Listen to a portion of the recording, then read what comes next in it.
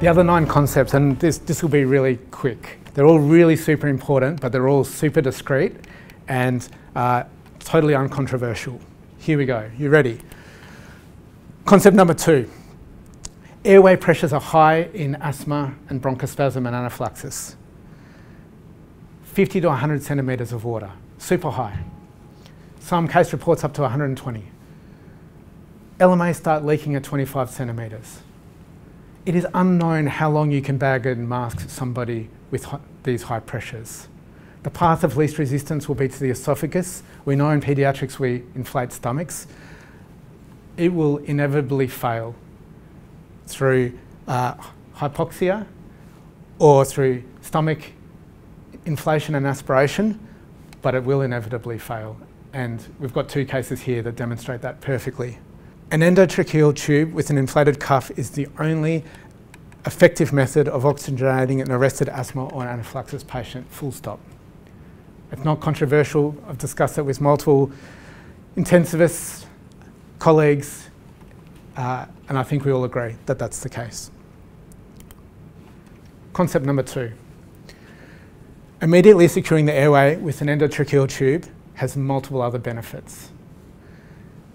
Preventing aspiration is super important. Vomiting is common in anaphylaxis.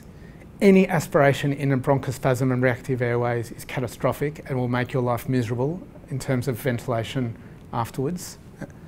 Um, and it's critical to avoid that. That, that is really important to avoid aspiration.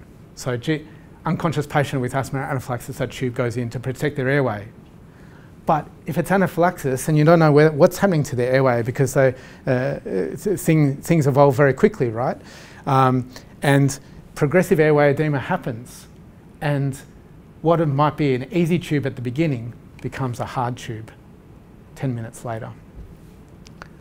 Concept four the first attempt should be the best attempt. Muscle relaxant should be in the resuscitation trolley of every ED. There should be a video laryngoscope ready to go. And it should be the best intubator in the room. Not the hospital, the best intubator in the room. We don't have time to wait for anaesthetics or intensivists or whatever happens in your place. Um, this is core emergency medicine and it's the best intubator in the room. Sedation and waiting for sedation should not delay your intubation it will come. We'll get the tube in first. We only need two drugs, adrenaline and rocuronium, or suxamethonium if you still use it. But you only need two drugs. It, takes time to, to, get, uh, to get the sedation or midazolam or ketamine or whatever you use. Uh, it, it, takes time. We don't have that time to wait, but it will come in, in, a few minutes. Concept five an inability to intubate on the first best attempt becomes a CICO until proven otherwise. Can't intubate, can't oxygenate. That means the surgical airway follows immediately. One attempt, then surgical airway. Should happen within four minutes. Concept six. What other cognitive pushes do you need to go and do this heroic thing that actually you're pretty comfortable with because you're an awesome emergency physician? no unconscious patient arrested from asthma and anaphylaxis is going to magically wake up. Now, I know there will be an exception to this room. If it's straight to, to, this rule if it's a straight asthma case and they're still breathing and you give them some adrenaline and bag them up and maybe you can get away with it if it's a, little one that, there might be an exception but in the adolescents and the anaphylaxis cases uh, they're, they're, not waking up. This is a hypoxic arrest. Uh, crack on. Like you, you, you can delay things until they have brain damage but you, you should, you, this is your cognitive push to go ahead. You have permission. I'm giving you permission. Concept seven, intubation practice. We need to be practice at doing emergency intubations. It's just something that we do because that's what we do in our department. We can do an emergency tube, it's no problems. Arresting patients, they're time, criti time critical intubations to avoid catastrophe. There's no checklist. Uh, we don't delay the time critical intervention and it relies on mini sims, in situ sims, pre-practice. There's no formal checklist. In awake patients who are intubating in the emergency department, they're awake. We've got everything to lose here. It's about optimizing checklists doing everything in every way possible to avoid catastrophe when we put them to sleep and give them induction drugs. In a myocarditis patient, cardiomyopathy patient, that might include having ECMO almost plumbed and the wires in on induction. Checklists are good. Now, I've given this talk a few times and some trainees want a t-shirt and the t-shirt uh, they want is they saying on this side, if, if they are dying, save their life. Go ahead. But if they're awake, don't kill them. Um, I don't know if we'll get those t-shirts made up, but, but you need to understand that concept. You've got nothing to lose on this side. You've got, uh, you're, you're only going to lose by delaying. Uh, on, on this side, you've got everything to lose by not being prepared. Concept eight, uh, pneumothorax rates in positive pressure ventilation patients in ICU are low. Pneumothorax rates are high if there's CPR or arrest involved.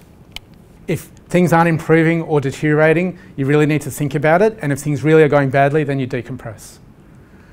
And when I say going badly, I mean like still SATs in the 40s or, you know, or bradycardia.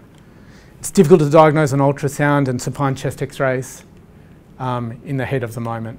So um, it's, it's something that you need to, uh, need to be considering.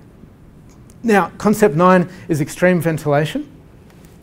Now, asthma patients, once you get the tube in, you, uh, you, you can't relax like other patients. You've still got a lot of work to do and that means implementing medical therapy for the bronchospasm, but it also means doing some really uh, awesome ventilation. And so it's going to feel tight, it's going to feel like a brick, but you need to deliver something. So yes, you do have to squeeze that bag hard, but you're only going to deliver small breaths. If you could use a bag, not a ventilator, at the beginning until things are out of control, uh, under control, because setting a ventilator to have PIPs of 100 is really hard. Um, you, you, need to get things under, get a feel for things with a bag and mask first. We don't want a breath stack. You want to make sure they fully expire. If things are really uh, you know, bad and at the beginning, you can do the lateral chest squeeze.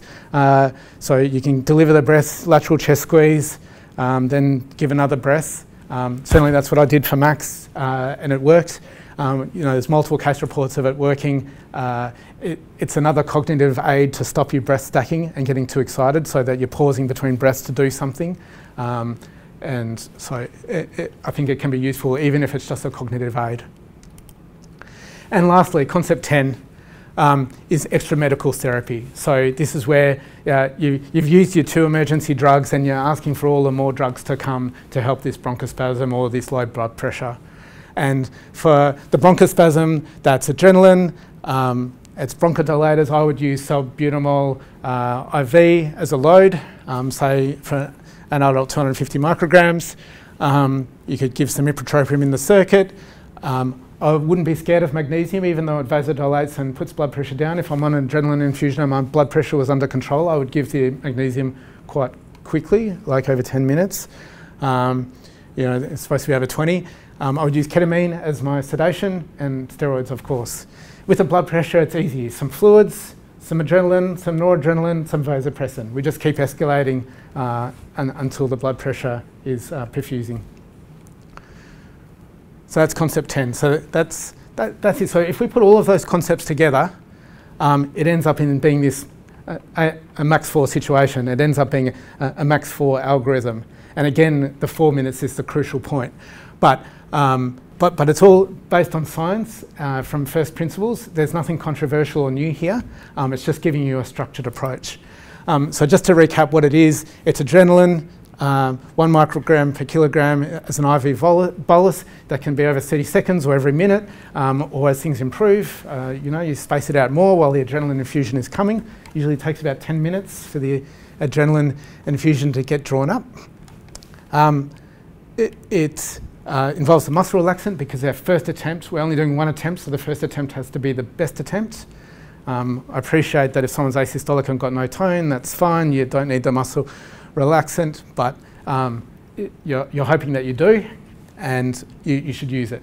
You have complete permission to use it on, on arrival if there's IV access. Um, you'll need some intraosseous, uh, you, you need some pretty rapid IV access Airways, the ETT, as we discussed, and all the extras and extreme ventilation, but remember it's all about the four minutes. So that's a max four. That, that, it's actually a really good algorithm. Um, it gives you some structure, and the key is, again, maximum four minutes.